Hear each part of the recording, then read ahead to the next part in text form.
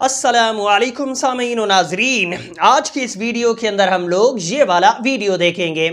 इस वीडियो के अंदर आप लोग देखोगे कि एक कब्र को दी जा रही है और कब्र की एक तरफ़ से अचानक खून निकलने लग जाता है। पिछले दो दिन से ये वीडियो नेट के ऊपर बहुत ज़्यादा देखा जा रहा है। लाखों लोग इस वीडियो को अब तक देख चुके हैं। इस वीडियो के बारे में बताया ये जा रहा है कि किसी खातून को दफन करने के लिए एक कब्र खोदी जा रही थी तो बिल्कुल पास वाली कब्र के अंदर से अचानक खून निकलने लगता है।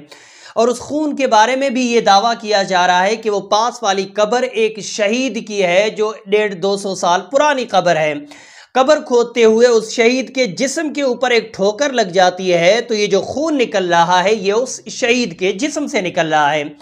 ये वीडियो हमें हमारे एक दोस्त ने भेजा है और पूछा है कि इस वीडियो की सच्चाई और हकीकत क्या है तो एक काम करते हैं दो ढाई मिनट का जो वीडियो वायरल है पहले आप लोग देख रखा होगा अगर नहीं देखा होगा दो ढाई मिनट का ये वीडियो देख लेते हैं उसके बाद इस वीडियो के बारे में आगे बात करेंगे पहले वीडियो देख लेते हैं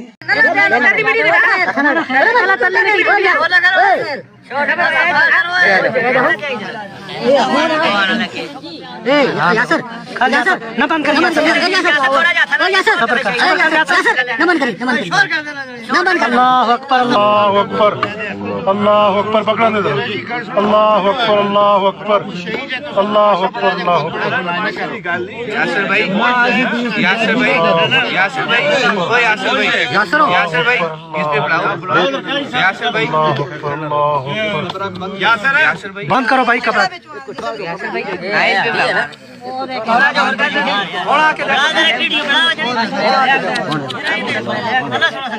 फिर कपड़ा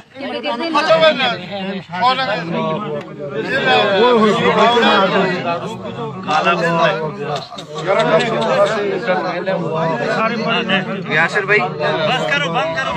बंद करो जी बंद करो। यासर बंद करो। यासर बंद कर बंद कर। वो तो सारी बंद कर सारी पीछे हो चलो जी पीछे हो चलो।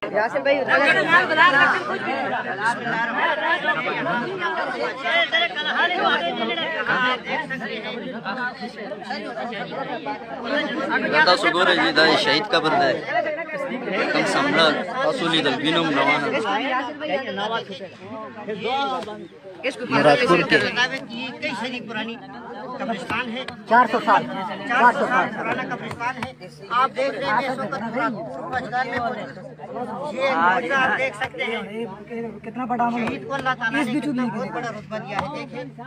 भाई इसको भी पहले मोड़ के इसको तो ही बंद होती बहुत हार्ड है। सब जो जड़ा जो आंदा लगे देते रहे ओ बस बंद करो जरा देख लो बाहर। कबर पे कबर करो ओए लेट हो गया। एक है शेष जो किया ओ यार ये भी अड़ी है। बस बंद करो निकलो कब्र जड़ी जड़ उस पे जो भी कब्र तैयार कर जड़े कब्र टाइम थोड़ा है सिरे पे जो आने वो जड़े कब्र तैयार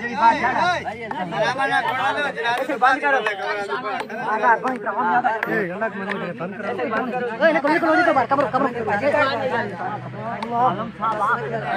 पूरा सही पूरा पूरा तो वीडियो आप लोगों ने देख लिया। अब आइए इस वीडियो के बारे में आगे बात करते हैं। इस वीडियो की सच्चाई और हकीकत जानने के लिए मैंने इस वीडियो के नीचे मुसलमानों के जो कमेंट हैं, वो पढ़ना शुरू किए इस वीडियो के नीचे हज़ारों मुसलमानों ने कमेंट किए हैं। मैंने बहुत सारे मुसलमानों के कमेंट पढ़े, बहुत देर तक बैठ कर के कमेंट पढ़े। कुछ मुसलमानों का तो वही कहना है जो इस वीडियो के अंदर बताया जा रहा है कि ये कब्र एक शहीद की है, सौ डेढ़ सौ या दो सौ साल पुरानी कब्र है। कब्र खोदते हुए शहीद के जिस्म के ऊपर चोट लगी तो ये जो खून बह रहा है, ये एक शहीद का खून है। तो वहीं दूसरी तरफ़ बहुत सारे मुसलमानों का ये कहना है कि अगर ये कब्र 100-200 साल पुराने किसी शहीद की है तो आपको किसने बताया कि वो बंदा शहीद हुआ? 200 साल पुरानी खबर आपको किसने दी? दूसरी बात, अगर ये कब्र 100-200 साल पुरानी है तो इस कब्र को और नीचे होना चाहिए था। अमूमन पुरानी जो कब्रें होती हैं, वो ज़्यादा नीचे होती हैं। ये कब्र देखा जाए तो काफ़ी ऊँची है। पुरानी कब्रों पे वक्त के साथ मिट्टी चढ़ती जाती है और वो कब्रें नीचे नीचे होती जाती हैं। इस कब्र को अगर देखा जाए तो वो इतनी नीची नहीं है, काफ़ी ऊँची कब्र है। तीसरी चीज़, ये मैं लोगों के कमेंट बता रहा हूँ, अपनी राय में बाद में दूँगा। पहले लोगों के कमेंट सुन दो। कुछ लोगों ने ये कहा है कि हो सकता है ये कब्र एक शहीद की हो, लेकिन ये अपने कैसे तहकीक कर ली कि ये खून जो बह रहा है वो शहीद के जिस्म से ही आ रहा है? हो सकता है उस कब्र के पास में या कब्र की साइट में किसी जानवर का बिल हो अंदर जानवर बैठा हुआ हो, आप साइड में कबर खोद रहे थे, उस जानवर को साइड से चोट लग गई, हो सकता है या उसका खून हो। बहुत सारे मुसलमानों ने इस तरह के कमेंट भी किए हैं।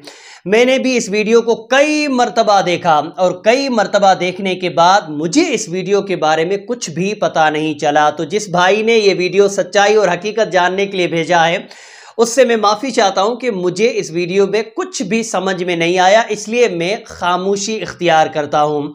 शहीद अपनी कब्रों में ज़िंदा है। इससे कोई इनकार नहीं, लेकिन हम उनकी ज़िंदगी को नहीं समझ सकते, ये भी रब ने फरमा दिया है। दूसरी तरफ़, जो मुसलमान बिना तहकीक किए ये शहीद का खून है, उनसे बस इतना कहना चाहता हूँ, किसी भी चीज़ का दावा करने से पहले अच्छे से तहकीक करें। और आखिर में एक गुजारिश करना चाहता हूँ, बिना तहकीक किए अब यहाँ पे कोई मज़ार बना करके और फिर गंजेड़ी और नशेड़ी बाबाओं को बुला करके कवालियाँ मत शुरू करवा देना खुदा के वास्ते। अगर वो शहीद की कब्र है तो उसको शहीद की कब्र ही रहने देना व मेला गाह मत बना देना, ये मेरी छोटी आप लोगों से गुजारिश है। आप लोगों ने भी ये वीडियो देखा, आप लोगों को इसकी क्या हकीकत समझ में आई? अगर कुछ समझ में आई हो तो मुझे कमेंट में ज़रूर बताएँ। वीडियो मुसलमानों तक पहुँचाइए, बोलने में, समझाने में कमी, बेशी व गलती हो गई हो तो मेरी इसलाह करें। असलकुम